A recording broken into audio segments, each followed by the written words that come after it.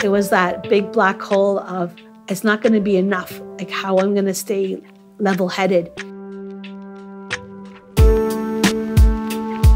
My name is Dr. Kami Kandola. I'm the Chief Public Health Officer for the Northwest Territories.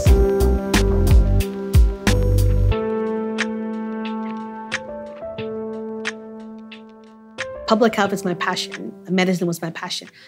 If you are looking for a structured and a kind of a role and you need lots of time to prepare, this is not a good fit. You can be working on a file and then get a call and say, in an hour, you need to be on the media to talk about this specific subject. And so you need to switch and, um, and learn quickly and then present it. So you have to deal with the problem, synthesize the problem, and then articulate the problem not only for the public, but for the politicians and for other um, healthcare workers and other uh, governmental departments.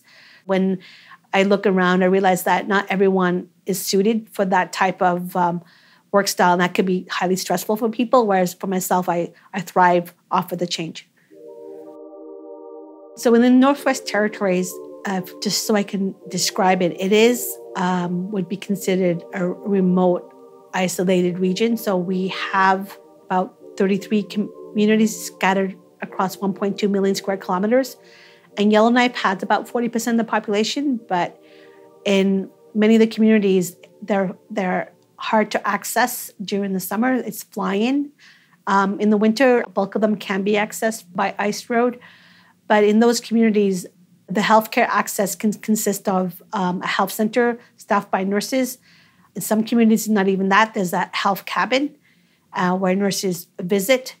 And um, there's only a few areas that have um, basic um, have hospital type services, um, which is Inuvik and Stanton Hospital in Yellowknife. So, from a legislation point of view, I implement the Public Health Act and all the regulations. But simplistically, it's the three H's. It's about health protection, health promotion, and health prevention. So those are my three domains.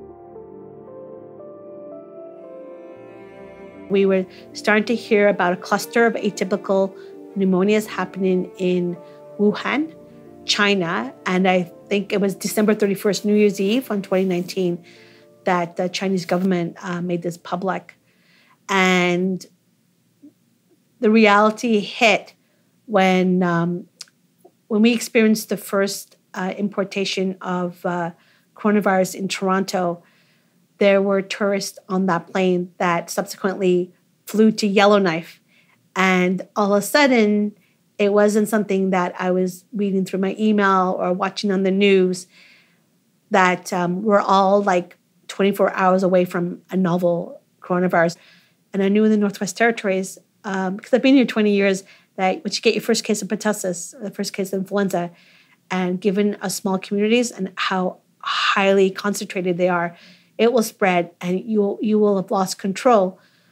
And so at that moment I realized that the the best decision I could make and the best control I could have over this novel coronavirus is to declare a state of public health emergency before we got our first case. So once I started to understand that people expressed fear and anxiety in different ways, it it helped me um, try to balance as much as possible on looking at the data, trying to learn about the virus, and then um, pivoting my measures as we understood more and more about the virus.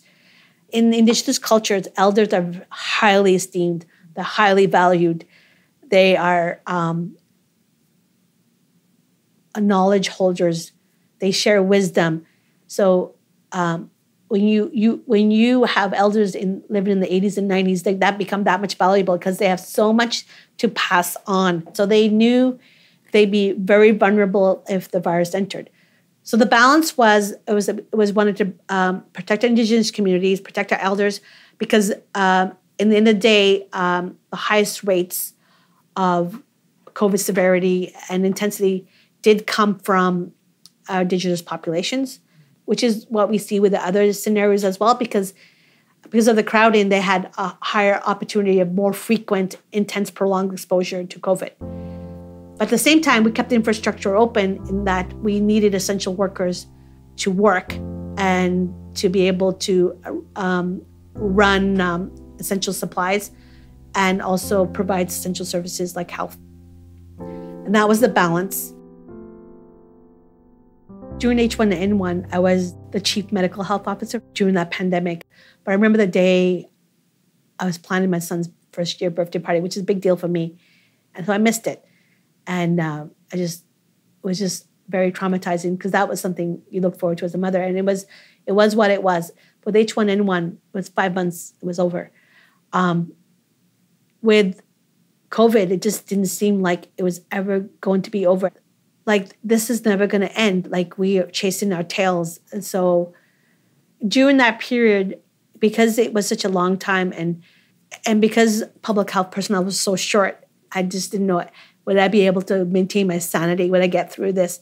And at the same time, your husband's at home and your son's at home, and you come home late and you're eating cold supper and they've moved on, but they're bonding and they're developing memories and um, and those ones I'll never I won't be able to get that back. And one of the struggles I, I had was even there was only a few of us, and all the fear, anxiety, and anger it was like funneled to a very small amount of people.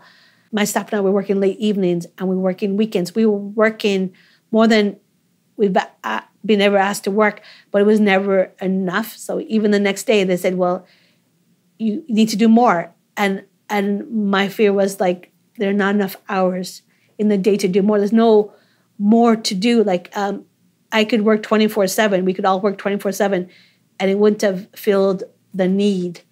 And so it was that big black hole of it's not going to be enough. Like how I'm going to stay stay level headed. Because of that, necessity drives invention. So we became very creative. Everyone had different superpowers, and they were allowed to work within their superpowers, whether it was epi, communicable disease, um, enforcement, um, surveillance. Um, they they all worked in the areas and they knew their role and they took um, greater responsibility because um, a pandemic is not a scenario where you can micromanage. You just cannot do it. You would burn yourself out. And so I took on more of the um, the role of communicating to the politicians, communicating to the media, communicating to indigenous governments. The hardest part was I had my staff, and they had to work incredibly hard, and some of them were single parents. and some of them were in relationships, and uh, some relationships um, suffered uh, because of their not being available. There was a price people paid. And I was more than happy that I paid the price, but it was so hard to see them pay the price. But the problem was there was no one else.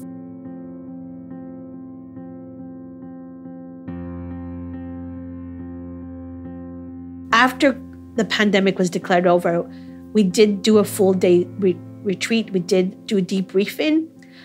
Um, our staff, it took us a, a, full year to to grow out of it, and then sometimes some of my staff, they'll something will happen, and there'll be level of intensity, and, then they'll go, "Oh my gosh, I'm getting PTSD all over again," because it was very hard for them to to slow down. Um, they were used to going home at 10 p.m. at night or having suppers or living around the table. So when they started, even it took them a long time to leave at a normal time. And I and I, I said, you guys, you, you can go home now. Doing the one day retreat where everyone talked and were able to express their feelings, like this was this was discussed, like they they about accessing mental health supports as they um, they need and to reach out. Another scenario was that our work we became like a family, uh, and so we almost like we were we were all going through this together. So we all kind of pulled ourselves out together. I'm a woman of faith, so that was when um, my prayer life increased, and so pretty much I became very dedicated to prayer, and then I had churches pray for me so it was my connection to God, to a high power, that got me through and gave me the wisdom, and it kept me strong throughout the the two years. When it was all over and I went to visit communities, a lot of people grabbed me and said, Oh, I miss hearing your voice on the radio. It's a really strange mix of professional and personal. So the stories matter, the people matter because you you know them, you know their names, you know where they live. It's not it, it's not like um, in a province where there's millions and millions of people. They the stories don't have a, a face. Here the stories have a face. I need to hear those stories to ha- have a, a balanced perspective because going forward is is how how do you um, control a pandemic strain in a northern remote isolated population with limited resources, but not infringe on people's personal liberties and their businesses and have that economic toll. So we started the pandemic at a deficit. So if you look at this health system as a whole, it's already it was already stressed. So gaps that exist in peacetime um, will be chasms that exist during emergency time. It doesn't matter what emergency happens, but if you don't d- deal with the small gaps or you don't try to um, figure it out during peacetime, that that is what's going to cause cause an unraveling of the response.